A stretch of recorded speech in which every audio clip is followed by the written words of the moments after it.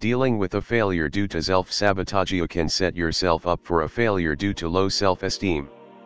It can result in self-sabotaging behaviors, such as not trying hard enough, after all, you don't believe you'll succeed, so hates the point of doing your best, comma exhibiting doubt, who's going to date you, invest in your business, or hire you, if you send unconscious signals of uncertainty, comma giving up at the first sign of trouble, why fight, if you already decided thought you'd most likely fail, comma creating situations or excuses that set a person up for a failure, like a student who parties the night before an important exam, it's common for a person suffering from a lack of confidence to invent insignificant problems so they can have an excuse not to face the big ones. For example, they'll tell themselves they desperately need a new dress for a job interview and spend 4 hours shopping instead of preparing themselves for the interview.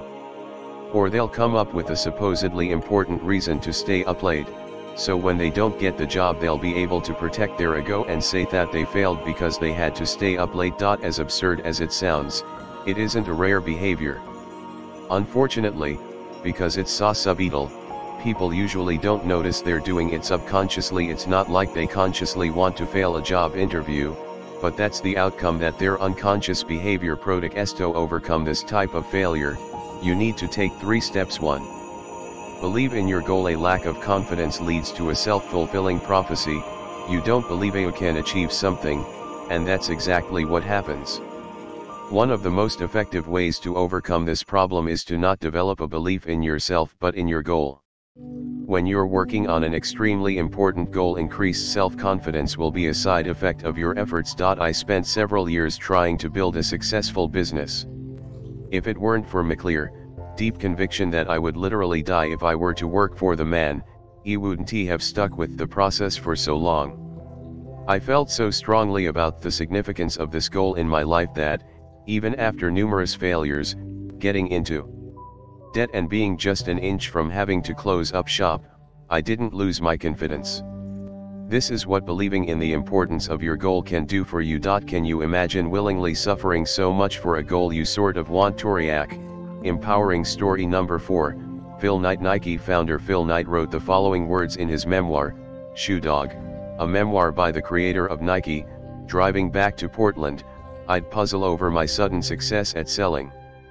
I'd been unable to sell encyclopedias, and I'd it to boot. I'd been slightly better at selling mutual funds, but I'd felt dead inside. So why was selling shoes so different? Because, I realized, it wasn't selling.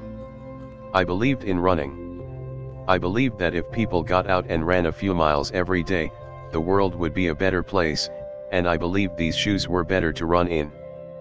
People, sensing my belief, wanted some of that belief for themselves. Belief, I decided. Belief is irresistible. 23 From then on, his life didn't magically change. While he did finally begin his work on what was to become Nike, he still went through numerous failures setbacks and had to deal with larger than life problems. However, if it wasn't he for his irresistible belief, who knows if Phil would have built one of the world's largest and most recognized sports companies, 2. Replace self-handicapping with defensive pessimism or strategic optimism when you're afraid of failure, you might sabotage your efforts to protect your ego from the crushing consequences of failure. This behavior, exhibited by creating obstacles and excuses to justify your failures, is called self-handicapping. According to researchers Andrew J. Elliot and Marcia Church, self-handicapping makes it challenging to reach one's goals 24. The problem with self-handicapping is that, on the surface, you always have a perfect explanation for your actions. Even if you're hurting yourself by taking actions that undermine your efforts but protect your ego, you'll still believe you're doing the right thing. If you recognize this happening in your life, Try two alternative strategies 1. Defensive pessimism Defensive pessimists set low expectations for their performance and envision possible negative outcomes. However, instead of creating circumstances that would undermine their success, they plan and prepare for the obstacles 25. This strategy focuses on managing anxiety in a constructive way. Instead of sabotaging your efforts so that you can avoid the unpleasant failure, you plan for the anxiety and develop solutions to handle it. Let's imagine you have scheduled a job interview at your dream company.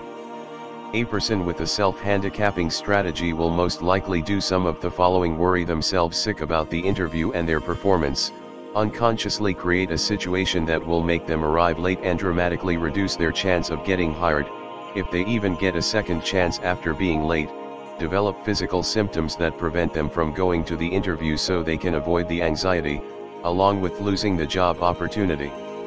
In contrast, a defensive pessimist will envision a bad performance and then research every single possible question they might be asked and prepare a solid answer for each one, leave to go to the interview an hour sooner, so even if there's a gigantic traffic jam they'll still get there on time, ensure that they feel well and look good by paying close attention to healthy nutrition, exercise, and getting sufficient sleep prior to the job interview.